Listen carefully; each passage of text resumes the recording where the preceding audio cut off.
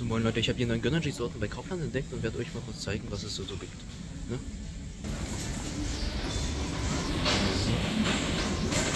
So, und da sind sie.